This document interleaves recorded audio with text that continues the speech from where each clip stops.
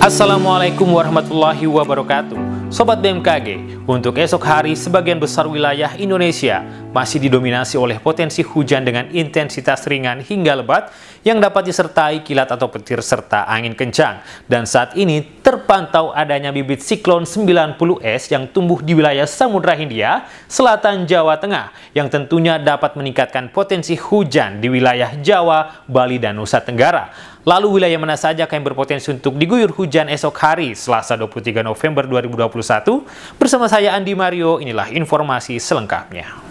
Sobat BMKG, potensi hujan dengan intensitas sedang hingga lebat yang dapat disertai kilat atau petir dan angin kencang diperkirakan terjadi di hampir sebagian besar wilayah Sumatera, sebagian besar wilayah Jawa, sebagian besar wilayah Kalimantan, sebagian besar wilayah Bali dan Nusa Tenggara, sebagian besar wilayah Sulawesi, Maluku, Papua Barat, dan Papua. Sementara itu potensi hujan dengan intensitas ringan hingga sedang diperkirakan dapat terjadi di wilayah Gorontalo, Sulawesi Selatan, dan Maluku Utara.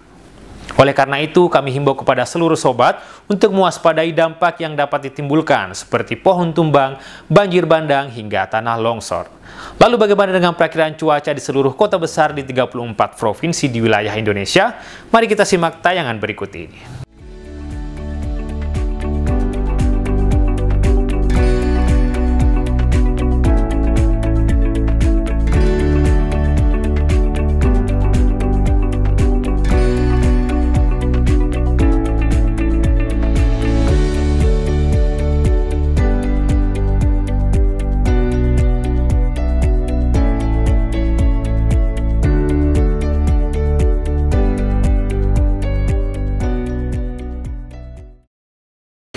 Demikian update perakiraan cuaca untuk esok hari. Jangan lupa untuk terus memperbarui informasi dengan mengunjungi website bmkg.go.id, mengikuti seluruh akun media sosial resmi BMKG baik itu Instagram, Twitter, Facebook maupun YouTube.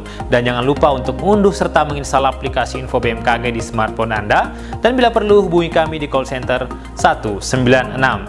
Tetap jaga protokol kesehatan dengan memakai masker, mencuci tangan, menjaga jarak, dan menghindari kerumunan. Assalamualaikum warahmatullahi wabarakatuh.